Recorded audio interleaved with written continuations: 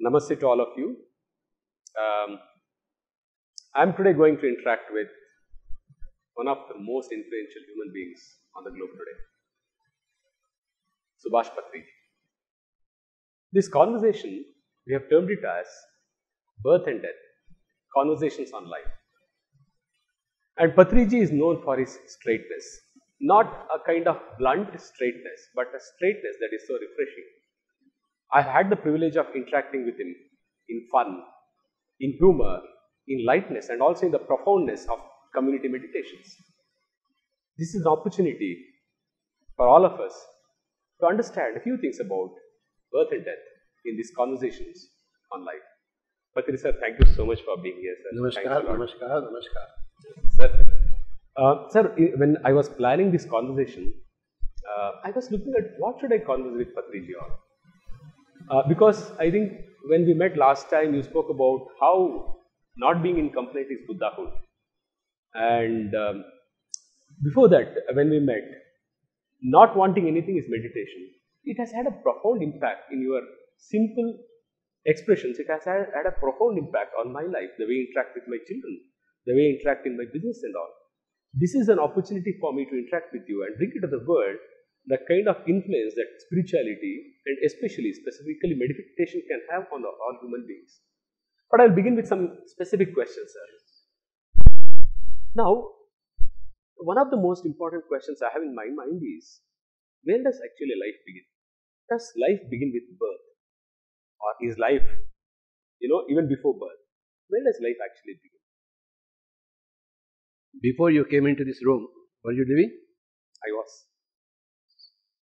Same thing with this. Before we come into this body and this world also, we were living. You are living. Yeah. So life is beginningless, Correct? and endless. Uh-huh. That's why it is called as anadi ananta. Mm-hmm. Life is beginningless Correct, sir. and endless. Yeah. So We understand that conceptually, sir. And when we have to understand that conceptually only. okay, Then slowly it will come into our experience. okay, First of all, you think of going to America conceptually. Somewhere there is America. mm-hmm. But then, when you were a child, America was there. But Correct. when you become an adult, you may plan to go to America. very true. Then you may go to America and come back Very many true. times. Right, Same thing also. right. We don't have any conception about life. Mm-hmm. We think that life begins with the birth from our mother's womb. Correct. And when we go to uh, death, that is the end of it. That is the normal conception. But as we evolve in spirituality and meditation, you see much bigger picture and you will understand finally that you are beginningless and endless. Yeah. I get, sir. Yes. So even when we don't experience it, it is important to have this conception. Yes, itself. even when you don't have, it. see, have you gone to the moon? No, not at all. But you know about the moon, isn't it? Exactly. You should have knowledge about the moon. Uh-huh. Yes. Similarly, that knowledge is very important. I get that. Have you seen Akbar? Not at all. But do you know? Do, do you know about Akbar? I know. I've studied. You, should you know or should you not know? I should know about Akbar. And so, even when you can't see Akbar now, you Mhm. can know about Akbar. Very true. Similarly, even when you don't know about life before birth and life after death, you must know about it. Beautiful, sir. So the very conception itself will open up a lot of possibilities for us in life. Yes. Um, when we sense that life doesn't have a beginning, doesn't have a end, it is anadi ananta. Now, imagining that we don't have such a conceptualization, how will life be? Horrible. We experience tension. We experience Yes, stress. yes. Every minute is a tension. Mhm. When you think that birth is a birth and death is a death. That's right. But when you understand that birth is not the birth and death is not the death, there is no tension. There is only play, lila. Beautiful, sir. Beautiful. So, in a way, what you are saying is that our quality of life, the way we experience life, is directly connected to the way we experience uh, or the conceptualization about anadi and ananta. Your life pattern directly follows your conceptual patterns. Okay. For example, if you are a communist, there is no God for you. Very true. Your life is horrible. So you can Mhm. kill anybody and get rid of anything because there is no God to punish you. Correct. But when you understand that there is a God and you have to follow the law of karma, that whatever action you do will have repercussions, mm-hmm. your whole actions will change. That's right. That's right. So your concepts determine your life patterns. Mm-hmm. Mm-hmm. I get that, sir. Exactly. You know, the way we think, the way we conceive the world actually determines the way we live our life, the, the patterns that we follow. I get that. So, what is that your concept of life and death? That's very important for every person.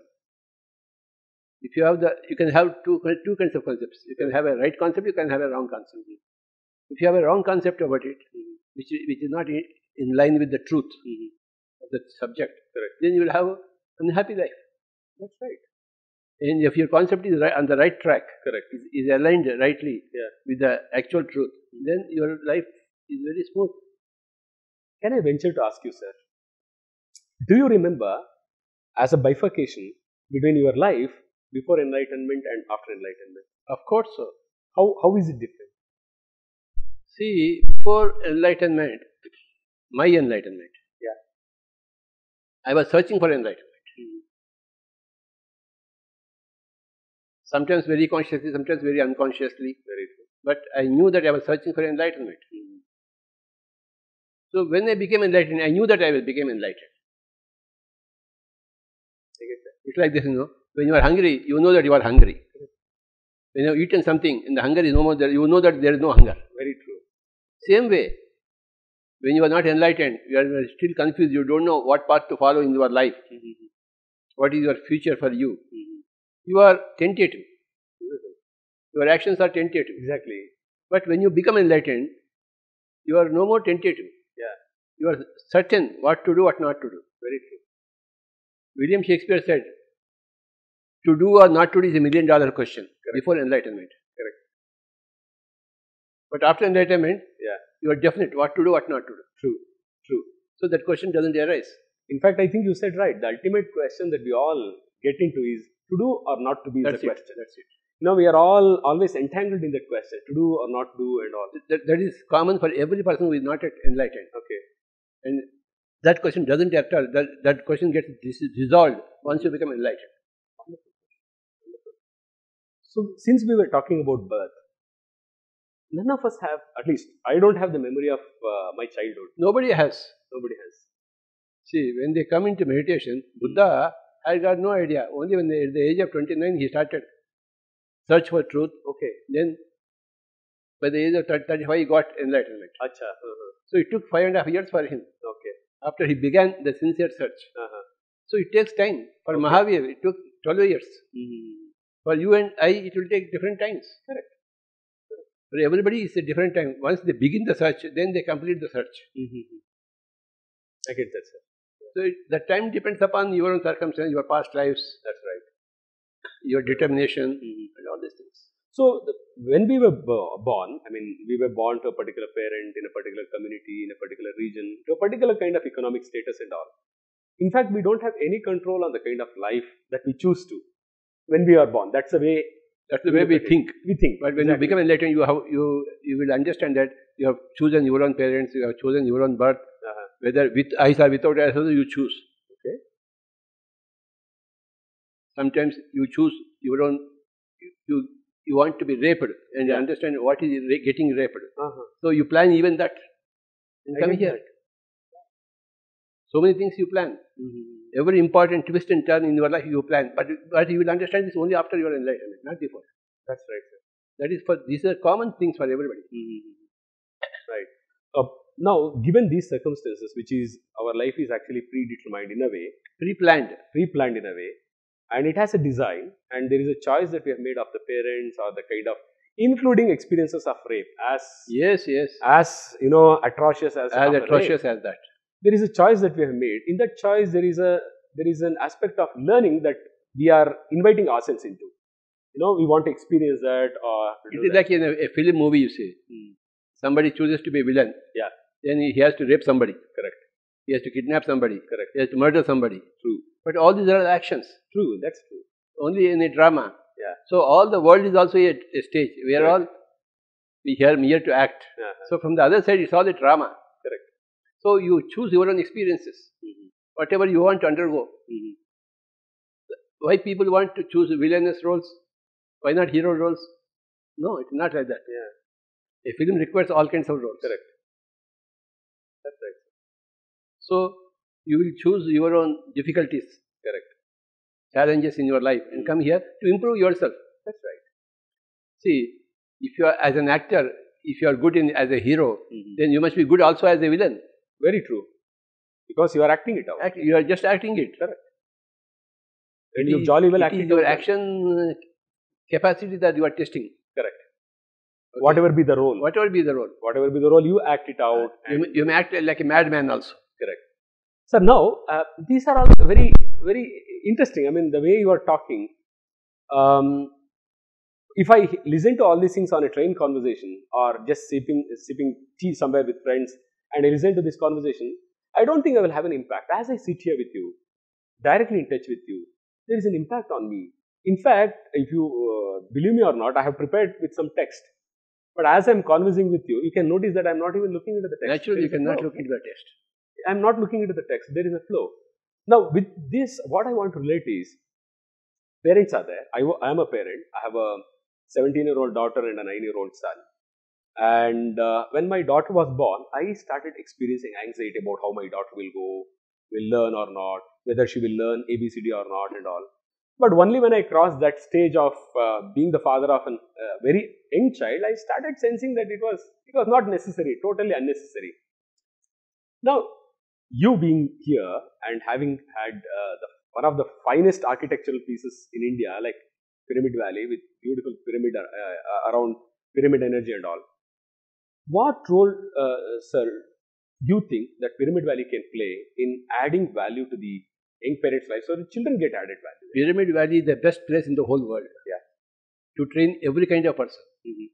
You are a parent or a child. Yeah. Teacher or a student. King or kingmaker. Correct, sir. Everybody has to learn from Pyramid Valley. Correct. So Pyramid Valley has got contribution to the whole of mankind. Mm-hmm. Okay. In every department. Every department. Because without spirituality, Hmm. your material life is always full of problems. That's right. Only spirituality will help you. Correct.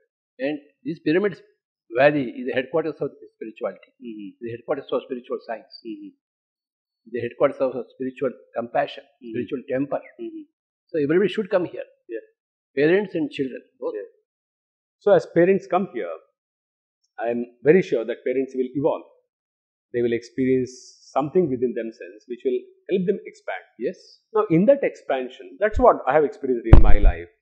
As I evolved as a meditator, I saw that you know the kind of problems I used to get uh, stuck in was something uh, I was able to resolve for myself and uh, deal with them more powerfully than the way I used to do before meditation. That is the case with every person who does, comes into meditation. True, true. Whether he educated or not educated. Yeah. Whether he is from rural basis or from ur- urban background. Correct. Whether he is a male or a female. Yeah. Whether he is a grahastha or a sannyasi.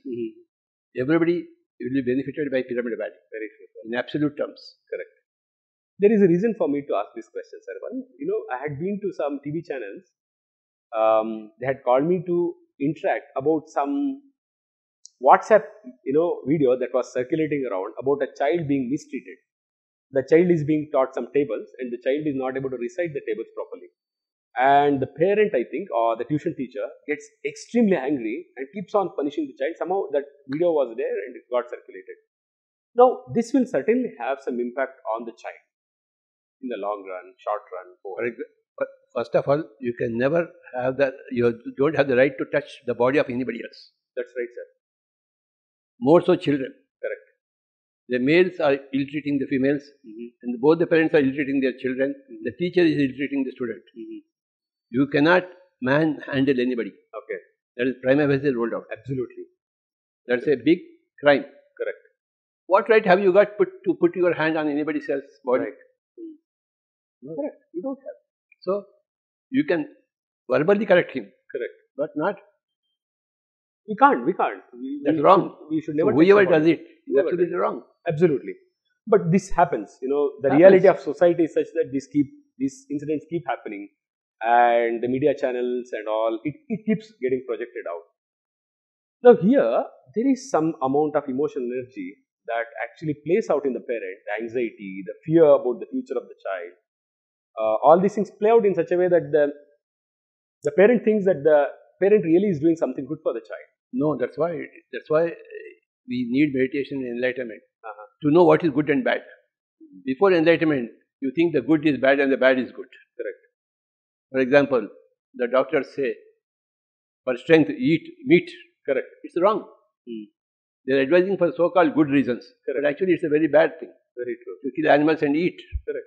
So they don't know what is good and bad Very true. because they're not yet enlightened. Very true. Because they never sought enlightenment. Everybody should seek enlightenment and then they will get enlightenment. Mm. Then only after enlightenment you will understand what is good and what is bad. Beautiful, sir. What is good and bad for you is also good for and bad for others. Correct. Correct. It's about the common good. You know? Common good. Exactly. I'm a human being and whatever is good for me is also uh, plays the same role for every other human being. So, this is where I want to bring your experience itself. Sir. See, we are all uh, constrained by the need to perform. It could be to perform in the exam. It could be to perform in the sales targets that as a salesman we need to do, or a CEO has to show performance of the organization or the business. To whom have to whom have we are we here we here to show performance? No. Yeah. We are here to perform for ourselves, to our satisfaction. We are not here to satisfy others' egos. Exactly. No. Yeah. But this anxiety exists about Because you are not enlightened. not enlightenment. Everything comes back to enlightenment. That's right. All anxiety is because of lack of enlightenment. Yeah. Very interesting, sir. So, when there is lack of enlightenment, there is certainly anxiety because you don't know. You are uh, doing it to perform, but people experience in uh, reality, uh, a 10 standard child experiences that kind of anxiety or uh, the We had all gone through all those experiences because we were not enlightened at that time. correct. In the school, after my school schooling, 12th class, Ah. when I didn't get a seat in, in medical, Medical or engineering. I went for suicide attempt. You were speaking about yourself? Myself. Are you sure, sir? Yes. Wow. I, I, I early morning, 4 I went in Hyderabad to Tank Bund Okay. to jump into the water. Uh-huh. Early morning, 4.30, only I was there.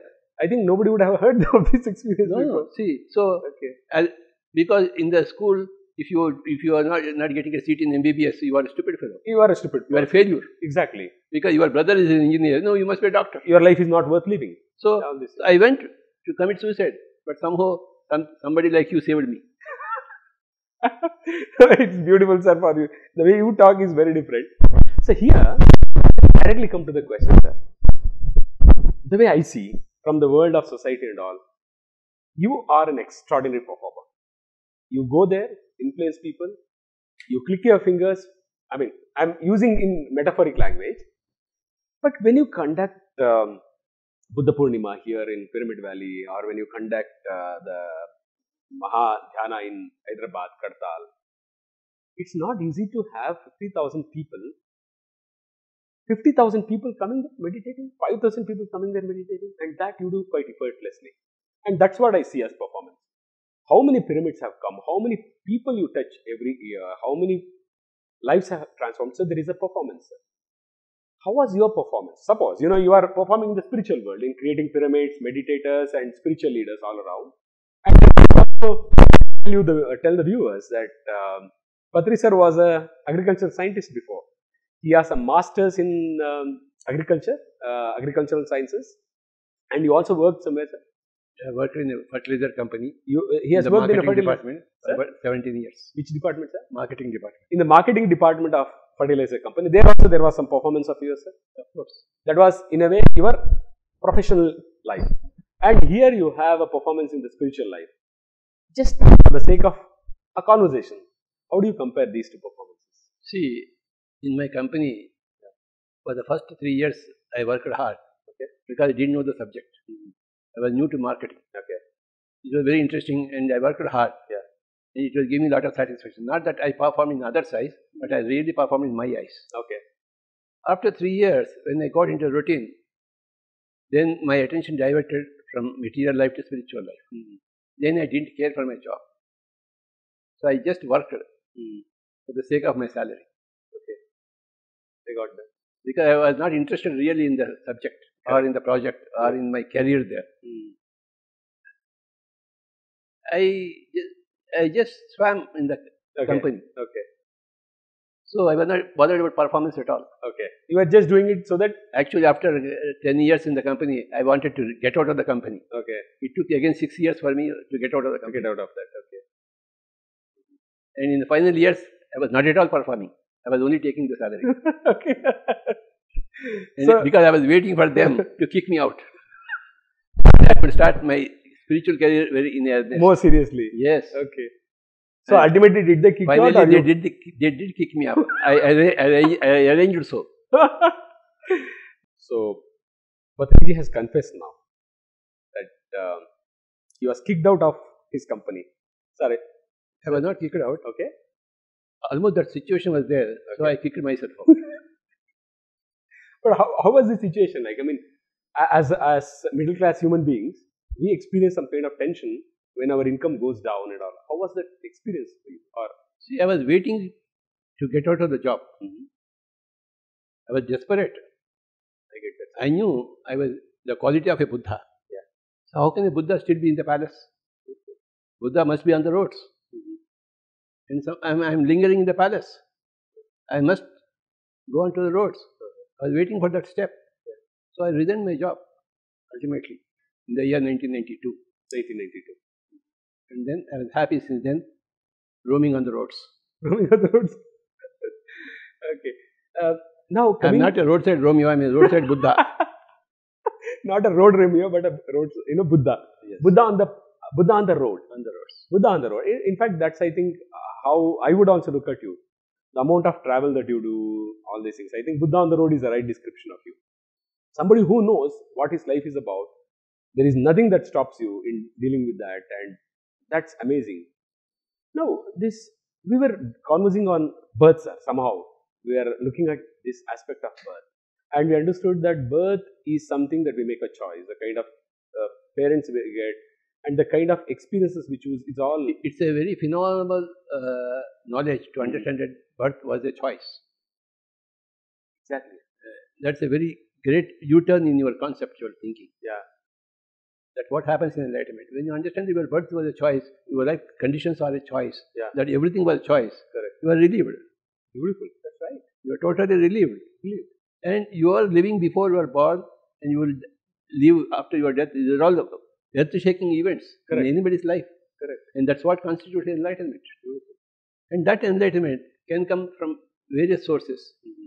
Because you have seen some great master, you can become enlightened. Mm-hmm. Or you have seen some great nature, you can become enlightened. Or you have done meditation, you can become enlightened. Various ways are there. So That's right. But somehow you will come, come to understand that, that you are birthless and deathless. Soul. But, sir. You are a birthless and deathless Exactly. soul. Yeah, yeah. When you understand that, everything changes. Correct, sir. But this aspect that you are relating to about choice, human beings in their ordinary sense are not able to understand this aspect of choice. They are not at all able to understand choice. In, in even uh, in our ordinary consciousness, we can't understand choice. As you are talking about, But it, if you apply your common sense, you will understand it. People don't apply even their common sense. Yeah. That, that's the way. That's where. See, when Gautam Buddha went out of the palace and saw one person correct, who is dead, Yeah. he asked his charioteer, correct. "Would I also be dead like that?" He said, "Everybody will be dead." Yeah. There, the matter finished. And he saw one old age. He said, "Will, will I also become old?" Uh-huh. Yes, Swami, you will also become old. The mind got shattered. Yeah. That is that is raw common sense. Raw common sense. But we, sense. even we see with 1000 deaths, we don't think that we, we will die. In Yaksha Prashnas, the, the Yaksha asked Dharmaraja, Uh-huh. what is the most astonishing thing in this world? And Yudhishthira, Dharmaraja, Correct. replied, the most astonishing thing in this world is that people see everybody is dying, Mhm. but they, they never think that they can die. Exactly. This is the most astonishing thing. This is the answer given to by Yudhishthira. Yaksha. The, the lack of common sense. Lack of Buddha common- had common sense, great common sense. Therefore, with one death, he became a master. He changed the whole life pattern. So, is there a difference between knowing, for instance, we know uh, conceptually that we go old, we may fall ill, we may ultimately lose our body. There is a knowing. How do we? There is a knowing and there is also a non-knowing. okay. There is a knowing that everybody dies. Yeah. But when your mother dies, when the father dies, when your wife dies, when your husband dies, you start crying. Correct. Don't you know that you, they all die? Exactly. Everybody knows. Yeah. But when the death comes, you are, you are not able to bear that experience. You are shaken. If you are conceptually strong, you should not be shaken by that experience. Correct. You are conceptually correct but not strong. Correct. So there is a, a, philosophical difference between, you know, I'm a student of philosophy, sir, to some extent.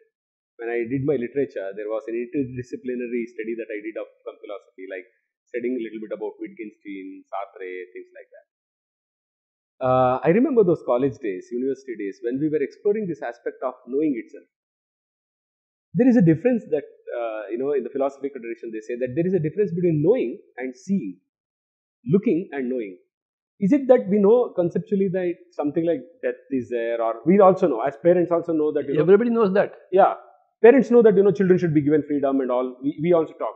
But when it actually comes to the circumstances of life, there is some pressure. The child is not uh, saying some rhyme there or something like that. What exactly is that? How do we grow into that kind of seeing with clarity so that we know what is? That's where meditation comes in. Okay. You may read Bhagavad Gita, you may understand Bhagavad Gita, Yeah. but you should do meditation. Correct. Only when you under, do meditation will you understand really Bhagavad Gita. Correct. You will experience it. Correct. So meditation is practical knowledge. Mm. Theoretical knowledge is conceptual knowledge is important Mhm. to understand, go into practical knowledge. But practical experience is experience is very important to understand whatever you have. Very true. Very So true. you, everybody should give time for meditation. Correct. Everybody. Is there a strategy to it? sir? What strategy? I, I'll uh, explain this question to you, sir.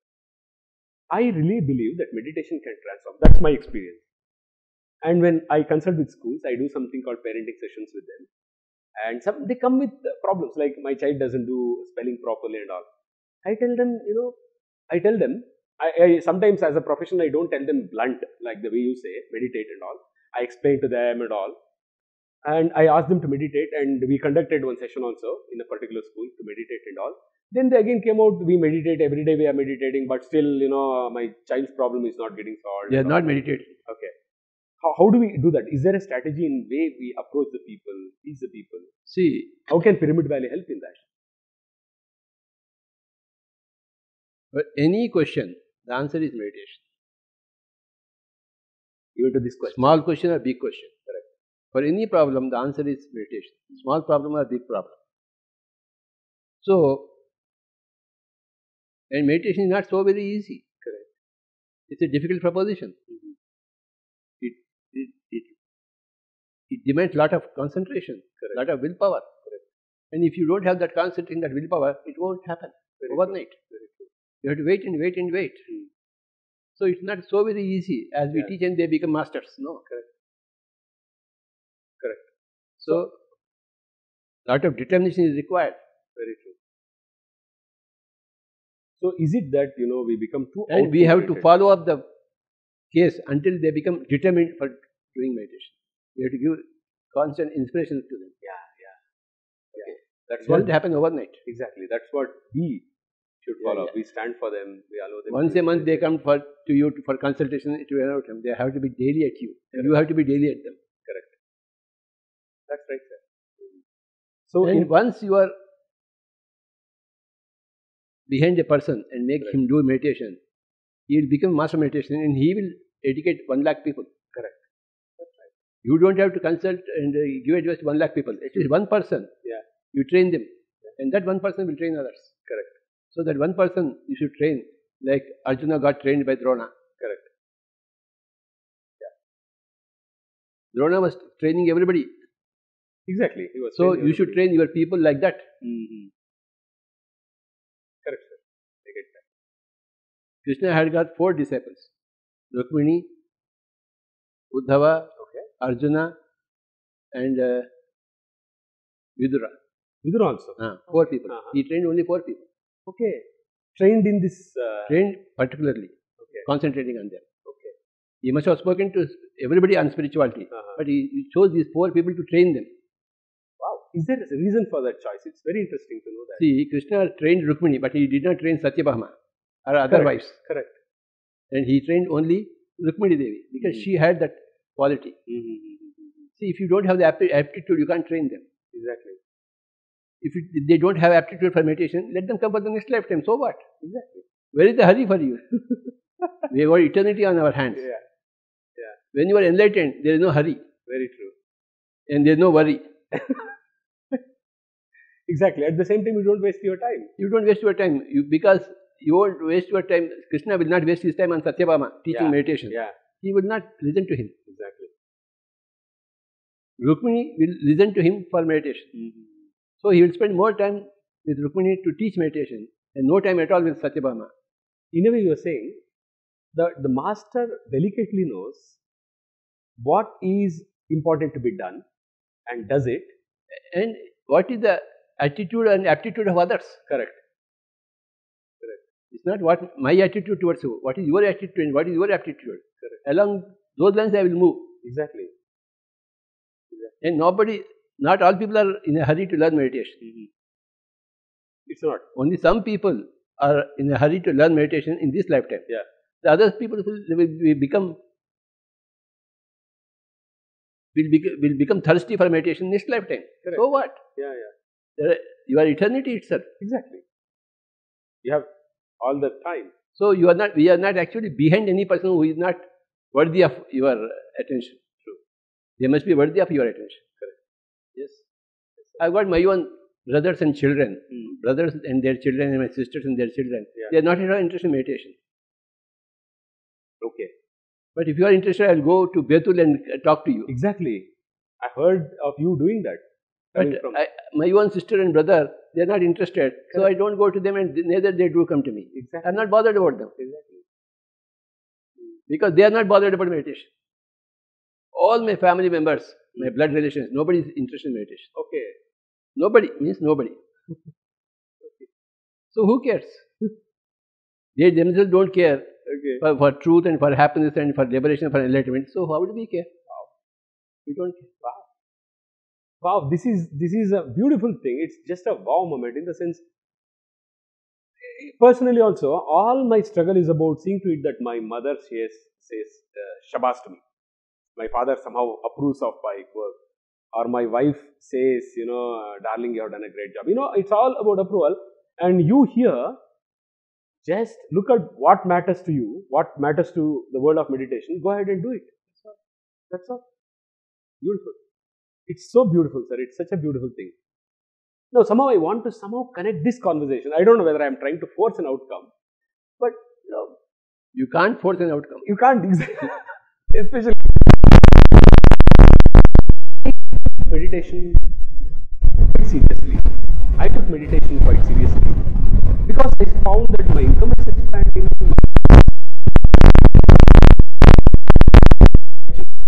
I enjoy being with my children. I think uh, some of my friends, even in Pyramid Valley, have seen how I take my child to a trekking or how I spend time with them and all. Amazing. For me, one of the motivations I have for meditation is that I am calm so that I can participate with my children. That's one of the motivations. Having motivation for meditation. What do you say about this, sir? This is the motivation. I want to have a great life with my children. Your moti- motivation for meditation comes from past lifetimes. If you have not done any meditation in the past lifetimes, a little motivation may, might come to you in this lifetime, but not much. Okay. Everything is a gradual affair. Nothing falls from the sky. So, so you and I were motivated into meditation many lifetimes back. That's why we are having Yeah, yeah. a conversation on meditation here like this. Mm. Otherwise, it, this wouldn't happen. This would never It would never happen. Yeah.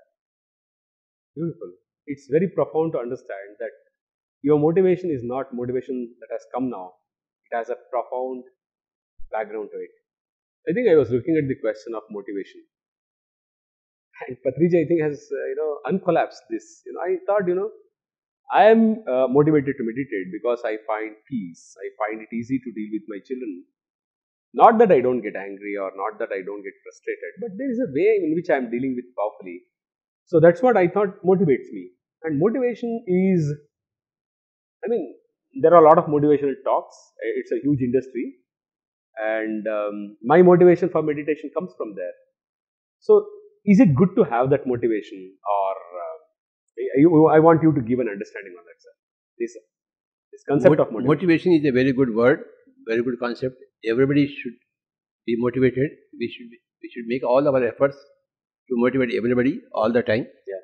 Given all that, motivation for meditation, enlightenment comes only from past lifetimes. In Bhagavad Gita, Krishna says, Bahunam Janmanamante Gnanavan Mam Prapadyate. Okay. Some, some.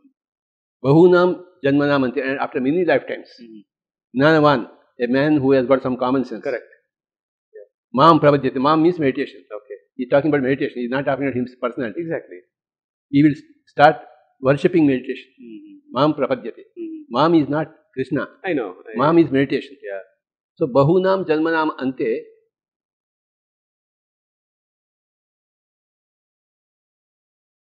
Gnanavan Mam Prapadyate. Mhm. Vasudeva Sarvamiti Sa Mahatma Suddurlabha. Mhm. Such people who have got such common sense are very rare to find. Suddurlabha. Not common. Exactly. Common sense is not common. That's true. Okay. That's true. So it takes many lifetimes for you to be motivated really into meditation. Okay. Okay. So as far as your case is concerned, you have done a lot of meditation in past lifetimes. Therefore, you readily came into meditation. Mhm. You are motivated by Exactly. by birth, I see that. yeah. naturally. Yeah. Nobody else, nobody ever moti- motivated you, you into meditation. You motivated yourself. Correct. Same thing with me. Nobody motivated me. Yeah, yeah. I motivated myself. Yeah. Okay. This comes only from past lifetimes. Yeah. Correct. And my own kith and kin, they, they never had any past life meditation. So even though they are my brothers and sisters and my, my close relations, they are not motivated. Even in spite of seeing my life Mhm. from close quarters, they are not motivated. Whereas somebody else from some other place just listens about me Mm. or hears about me and they come here Mm. to learn meditation. Correct. Today morning, one man came from Turkey. Acha. Mm. He said, My family is very good, my economics is very good, my work is very good. Mhm. I have taken three months holiday to do something special. And I was contacting somebody in Delhi, and they said, Go to Pyramid Valley. He came in the, the valley just for half an hour to meet me. So, how is he motivated? Exactly. He came He, he took a flight from Delhi to Bangalore just to be with me for about half an hour, and he went back. Exactly. How So- do you explain that motivation? So, how would you explain that? Exactly. Actually, he was not even search for meditation. He was search for some good time for three months. Mm-hmm. So, some some conversation he met to our deal and Shastri from Hyderabad, I know. Delhi. So he said, this man wanted to go to some Dalai Lama, some other place, Mm-hmm. because people know about Dalai Lama. Correct. Nobody knows about me. so when Deal and Shastri spoke about me, he took a flight and came here in the morning. Okay. spent about one hour with me uh-huh. and went back. Okay. Beautiful. So that is called a motivation. Correct. Who motivated him? Nobody. Okay. His own previous life samskaras yeah. made him mm. take that decision. That's right. That's right. You can't explain such motivation where yeah. people take a three-hour flight. That is why bahunam janmanam ante. Exactly. Nanavan Maam prapadyate. Vasudeva sarvamiti sa mahatma sudurlabaha. Such people are very rare. Very true. It's very rare to get such. Very people. rare to get. That's what i told him Mm. it's a very rare species you have Correct. you came all the way from turkey Yeah. you got three months free time i got three months free time Correct. i want to do something special Yeah. and this fit in with that concept So, I mean, the way I am looking at it is that, of course, there is a motivation to which we meditate because, you know, after some time I find it, uh, you know, I enjoy my flights and train journeys because I get my full time to meditate. I know that that's the kind of thing uh, I experience. To, to just sit, meditate, nobody is going to disturb me in the flight as I simply sit there and meditate. That's there is joy. I'm waiting for that joy to happen. And in being in that joy, I'm able to see that had I not come into meditation in the year 2005, you came there, 2005, I entered the world of meditation. And I think I meditated for one hour. That was a very profound experience. I felt so fresh the whole night. I, I next day morning I was feeling say a few words about yourself for the sake of everybody. Who are you? I what think- are you? Your name your profession and Sir- how we met each other. I will I will talk my profession in a way that that should really be an impact on people. In fact, I, I should tell sir, you know, I I'm an educational consultant, and when I met Patri sir in the year 2005, I was a principal in a school called Satpura Valley Public School, and it was an experiment. where was it? in which state? It is in Madhya Pradesh, Ah. exactly midway between Nagpur and Bhopal, and um, uh, uh, so that's where I first met Patri sir. And uh, I was uh, the principal in the school there, and it was an experiment school where we were looking at freedom for the children, burdenless education, integration in learning, community learning enterprise, all, all these things. But there was so much of tension and confusion about it. It was September 2005. I don't remember the date. If I had maintained the diary, probably I would have mentioned it. Uh, he came there, and um, we were a group of around 10 people, and I was embarrassed uh, that Patri sir has come all the way, and only 10, 10 12 people are there. But Patri sir had the same enthusiasm. That was amazing. Same energy, same enthusiasm. Then he called me to you know do the introduction. I did some introduction. Then we meditated. I think that was the first meditation I had. And one experience I can tell you is that before doing meditation, I remember talking to one of my friends where I said, "This school is not running well. People are complaining. Management is not supporting. Teachers simply take off. They just send me an SMS saying that they don't want to come today and all. Struggle." Two months later, the same person called me and I told him, "Wow, the school is working wonderfully and all these things." Then the same person asked me to give the phone to my wife because he knows both of us. And then he asked my wife, uh, What? The school has changed so much. My wife said, No, the school didn't change. Jagdish has changed. This is my experience there. So, in a way, me being into this world of meditation, I think has protected a lot of children's lives. I have contributed to the lives of children. My own uh, children and my wife I think the kind of influence I have on them is far better than what it was before meditation. So there is a way in which I'm thankful, I'm really grateful that I'm able to protect the interests of children in the way it needs to be protected. Rather than, as- as you said initially in the interaction, that we have no right to test it. In fact, I believe that we have no right to even corrupt their consciousness by telling them things that may not make sense in the long run. So I think this conversation uh, is very important for me in the sense that you know it is about how we protect what we are meant to do. About you know we are taken birth, um, we do that. But one thing here, sir, I got it because you were there. Because you were there, you had a masterful influence. I went there because you wanted that to happen. What do you mean, sir? Yes. What, what I mean, I can sense the beauty in what you are saying. But what is that actually? That I remember you saying that. When once the again. disciple is ready, master will appear. So the master will appear only when the disciple is ready. Okay? The disciple, when the disciple is ready, master will appear. वो चप्पल पार कर आ जाता है. Correct. So that's what happened exactly. because you were ready. I, I was beautiful. It was a beautiful experience Yeah. for me. It's a very profound uh, interaction. Sir, for young parents who are uh, about to become parents, who are just married, or who have very young children, who are struggling for admitting First of all, to you cannot marry without being a meditator. Okay. You cannot produce children without getting a certificate from me that you, you are a meditator. Beautiful, sir. Because marriage and children, parenting is a very big subject.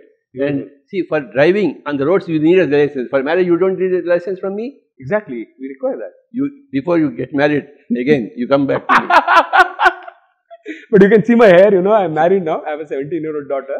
But I, I, I believe what you are saying, sir. I really understand what Even for a driver, you need a license, driver's license, whether you are a proper driver or not. Okay. Unless you are a proper human being, how can you get married? Exactly. So who give you, who will give you a certificate that you are a proper human being? And how will you become a proper human being? Yeah. Only when you do meditation. Yeah. Exactly. So let this be known to the whole world. Who Whoever wants to get married first get a certificate from me. I think this is a this is a very beautiful way of uh, uh, concluding this conversation before we begin some more. It's very beautiful, sir. I I am very sure that it's not just you know uh, insightful, but also quite entertaining in the conversation. I look forward for more conversations. Ultimately, sir, Before getting married, before becoming a parent, you must come into meditation. after becoming a parent, sir, Before you become, before Very you sure. decide to become a parent, you must come into meditation. very sure. But some Because- people have become parents now. So better late than never. Better late than never. That's it. That's it, sir. But, are they, but they are already late. Exactly. But better late than never. I was late. But I am better late இன்னோ than never I got into that sir thank you so much sir I really enjoyed this conversation it's humour there is lot of heat here but this is perform thank you so much sir thanks a lot bye bye sir thank you sir BMC நேயர்களுக்கு ஒரு வேண்டுகோள். Video மூலமாக மேலும் ஆன்மீக தகவல்கள் பெற விரும்பினால் subscribe எனும் பட்டனை அழுத்தவும். இதை பற்றிய அறிவிப்புகளை அறிய வேண்டுமானால் பெல் எனும் பட்டனை அழுத்தவும்.